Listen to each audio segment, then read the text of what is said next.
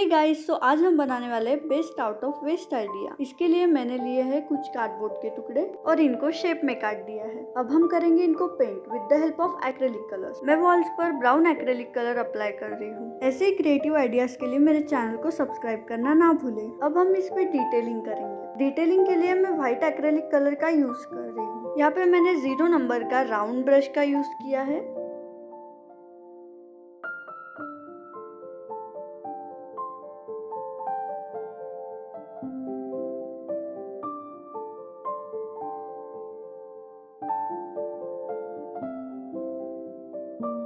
सो हमारी detailing complete हो चुकी है। अब मैंने लिया है एक स्क्वायर कार्डबोर्ड जिस पर हमारा हाउस बनेगा। सो so, यहाँ पे मैं वॉल्स को स्टिक करने के लिए फेवी बॉन्ड का यूज़ कर रही हूँ। अब हम वॉल्स को स्टेप बाय स्टेप अरेंज कर लेंगे। और फाइनल लुक के लिए वीडियो को एंड तक ज़रूर देखिए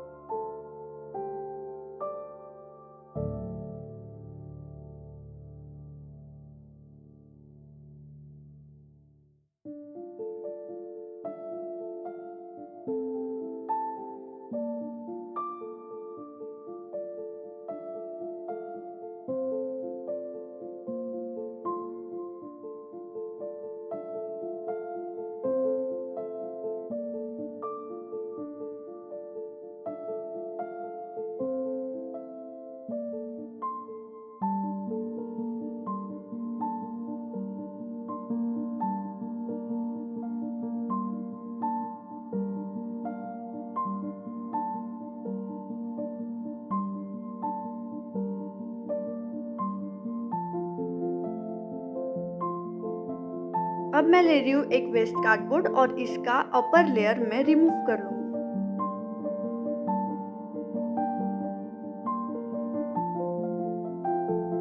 अब कार्डबोर्ड को प्रॉपरली कट करके मैं इसको कलर कर लूँगी और रूफ पे स्टिक कर लूँगी।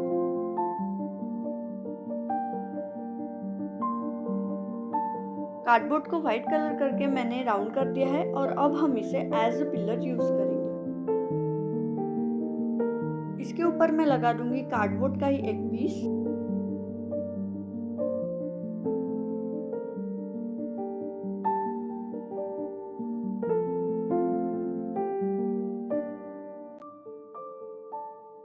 अब मैं यहाँ पे ग्रास शो करने के लिए ग्रीन कलर दे रही हूँ और इस पर कुछ लाइट ग्रीन टेक्सचर दे दूँगी जिससे ग्रास रियलिस्टिक लगे। व्हाइट पेपर से मैंने सीढ़ियाँ भी बना ली है। अब मैं इसको कुछ स्ट्रिप्स लगा के इस पर फिनिशिंग का काम कर।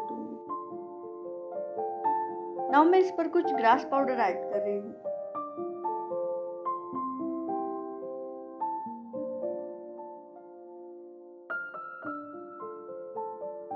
अब हम बनाएँगे क्यूट सा मिनी प्लांटर सो इसके लिए मैंने ले लिया है एक कार्डबोर्ड पहले जैसे हमने इसे कलर करके राउंड किया था, वैसे ही स्टेप हमें यहाँ पे फॉलो करनी है। मैंने इसमें कार्डबोर्ड के पीसेस भर दिए हैं और इसमें मैं आर्टिफिशियल प्लांट स्टिक कर रही हूँ। नाउ हम कुछ ग्रास पाउडर ऐड कर देंगे और प्लांटर को लगा देंगे घर के एक साइड में। तो इस तरह से हमारा ये घर रेडी हो चुका है। वीडियो पसंद आई हो तो लाइक करो कमेंट करो शेयर करो और चैनल पे नए हो तो सब्सक्राइब करो। तो मिलते हैं अगले वीडियो में, तब तक के लिए टेक केयर